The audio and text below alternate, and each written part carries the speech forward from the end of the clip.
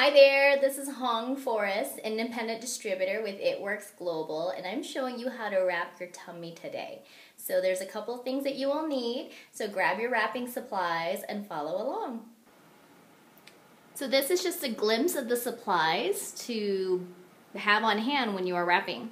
You have plastic wrap to hold your wrap in place, or you can use our newer fab wrap, and it's this breathable material kind of like pre-wrap if you've ever been taped for athletic purposes or whatnot but it's this breathable material that you can use instead of plastic wrap also um, i have a velcro support band that i had purchased before i had both of my children so that comes in handy now if you want to use that to hold it in place other things to have on hand, your phone, so that you can take before and after pictures, of course. And if you are measuring, have a tape measure so that you can measure. Obviously, you'll need scissors to open up the wrap itself, and you'll need the wraps itself. So that's all that you need. Water is always a great thing to have on hand when you are wrapping, of course, and just for regular hydration purposes. But this is a look at just what you need in order to prepare to wrap.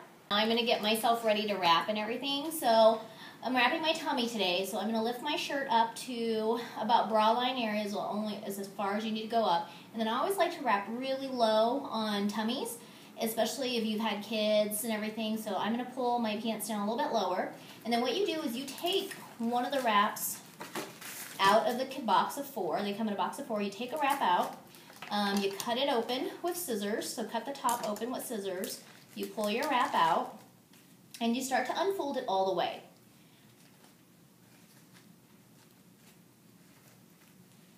Once you've unfolded it all the way, you'll notice that there's already cream on it on the one side, and what you do is line up that middle button, or the middle line with your belly button, and apply it to your skin just like this. I have a pretty short torso, so what I'm going to do is slide mine down a little bit further,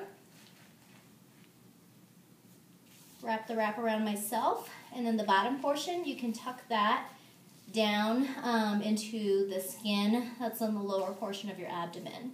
So I get this on like this, and then you have a couple of options for holding it in place. You can use a tight fitting shirt like this green tank top that I have on.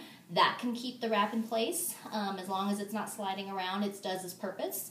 You can use plastic wrap, which most everybody has in their household. Plastic wrap works awesome. Two layers around to hold it into place. And I'm going to do that to show you just because it's such a common object that people have um, in their homes. So you just start the plastic wrap on one side, and bring the roll around to the other side. And just two layers. It doesn't have to be super tight or anything. This isn't about compression or anything. This is just about keeping the wrap itself into place so it's not moving around. So I've got two layers on, and then I'm just to rip it off like that, and that's it.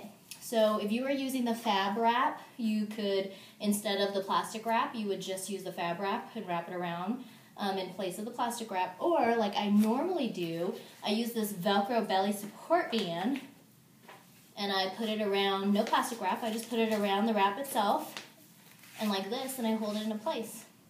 And then I kick back and relax for 45 minutes. Um, you know, read a book, watch a show, hang out with the family, whatever, but it's important to have your water, of course, so make sure you're drinking your water and 45 minutes after you wrap, you unwrap, you take your pictures, and that's it. I will have the wrap on for about 45 minutes. If it's your first time, definitely only keep it on for the 45 minutes and then you can remove it afterwards.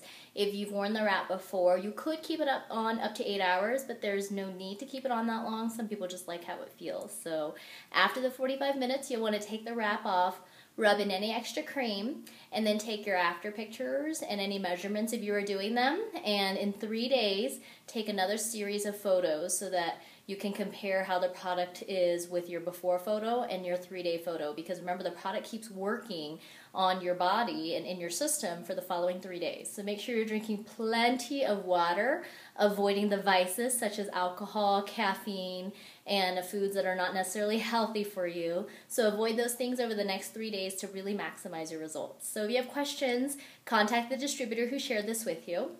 And happy wrapping!